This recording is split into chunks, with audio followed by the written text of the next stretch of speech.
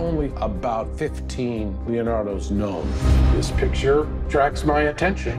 No one could have painted this except Leonardo. It's not even a good painting. This is the male Mona Lisa. It was worth $200 million. Something's fishy here. Everybody was complicit. Wow. Oh, God. It's not about art and love, it's about money. Nobody really cares what the truth is.